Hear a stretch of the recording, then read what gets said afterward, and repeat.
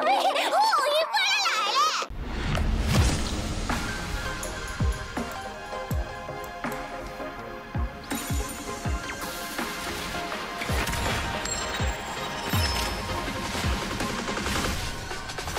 The art style already screams Tower Fantasy. Already.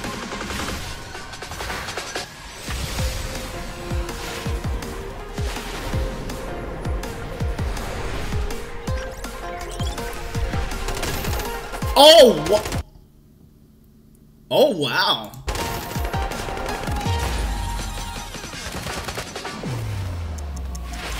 Let there be light. Please tell me they're gonna have a bunch of uh, voice packs. For example, I want Japanese voice acting for this. The digital frontier at my fingertips. I feel like she's gonna be the chosen one on default. Dude, I love battle royales, but I especially love anime style battle royales. Even though there's none to this very day, I don't believe. This is already interesting. Lights off.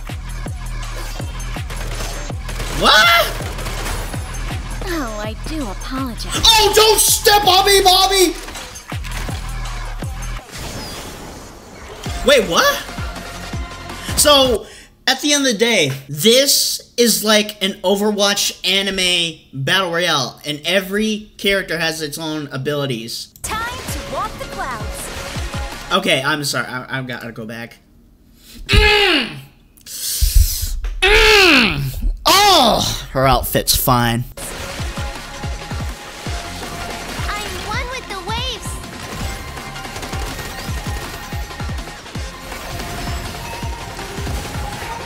Yeah, I can already tell this is already a mobile battle royale, but it looks so cool. I can feel the rhythm of your heart.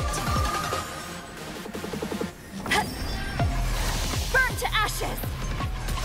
Okay, hold on. She looks cool. I don't know, something about waifus with eye patches and long hair, bangs over their face or whatever, just looks so attractive. And I like how she has a different color on the inside of her hair. So like on the inside she has blue, but on on top or whatever is black.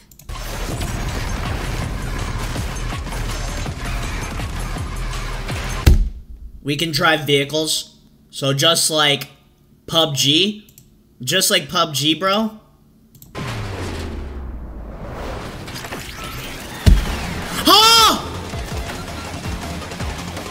Hovering cars in a battle royale game? That is going to make your movement so fluid and bouncy, bro.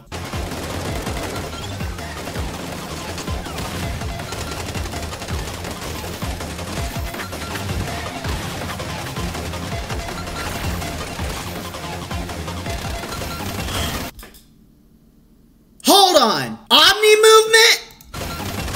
Black Ops 6 thought they were gonna be a game changer. And now we got this. This is already a game changer. Well, I'm not sure if it's like technically Omni movement, but it looks just like how you prone down and turn around and lay on your back type of thing with the Omni movement in Black Ops 6. Now, a game like Rainbow Six Siege was like one of the first ones to implement this type of movement or like, you know, prone feature. You lay on your stomach and face the front, or if you want to be on the back of the wall, turn around and you lay on your back.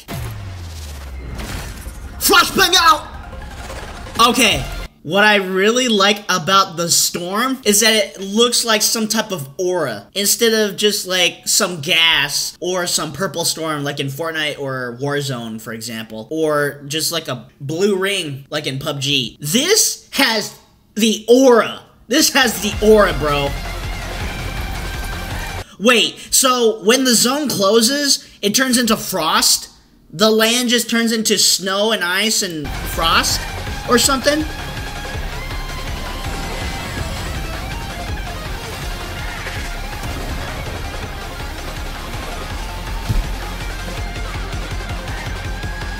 Bro just committed a venti move.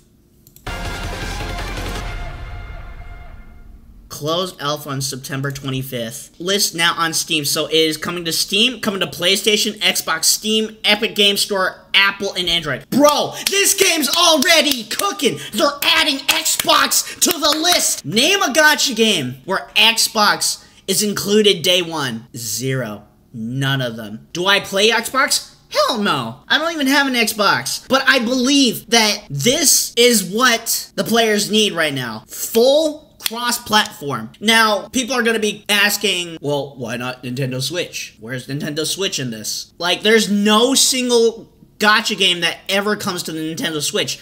But here's the answer for that. This game runs on Unreal Engine 5. Unreal Engine 5 is graphically demanding. And we all know that the Nintendo Switch is not compatible with a lot of games in this generation that could run max graphics at 60 FPS. Any third-party game or AAA game, let's just say that, AAA game from other consoles being ported into a Nintendo like a Nintendo Switch mainly gets lower graphics and a 24 to 30 FPS limit because it can't handle those games. It was meant to be for like old generation graphics if if you get me. The Nintendo Switch was mainly built off of the Nintendo Wii U hardware in a portable handheld. And we all know that the Nintendo Wii U is similar to the graphics of an Xbox 360 and a PS3, so you can tell right off the bat from that information that the hardware